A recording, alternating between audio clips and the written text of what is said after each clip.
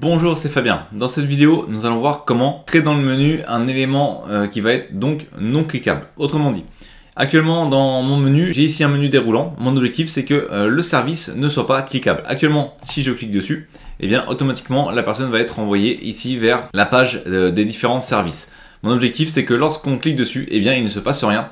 Automatiquement, ça me permettra ainsi que euh, la liste déroulante s'affiche et que la personne soit obligée de cliquer parmi cette liste déroulante.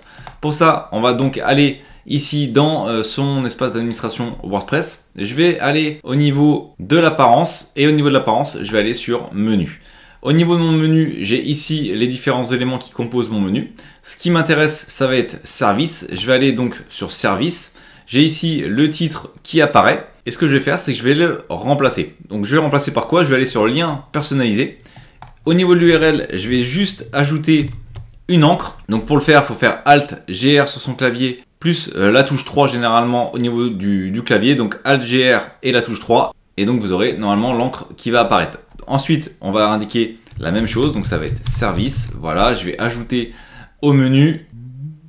Et j'ai ici mon élément service. Donc je vais remettre mes différents éléments ici. Donc je vais les faire glisser.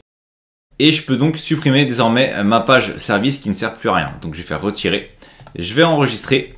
Je patiente le temps que ça s'enregistre. Et ensuite je retourne ici euh, au niveau de ma page. Je vais euh, l'actualiser. Et donc maintenant si je passe dessus et que je clique, eh bien il ne se passe euh, plus rien.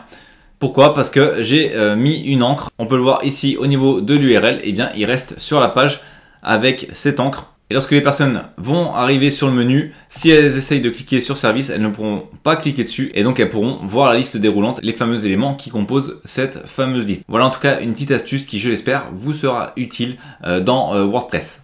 Merci d'avoir regardé cette vidéo. Si vous n'êtes pas abonné, j'espère que cette vidéo vous donnera envie de le faire en cliquant sur le bouton s'abonner et en activant les notifications pour ne manquer aucune des prochaines vidéos. De plus, vous trouverez dans la description un sondage pour déterminer les prochains sujets. A très vite pour une nouvelle vidéo.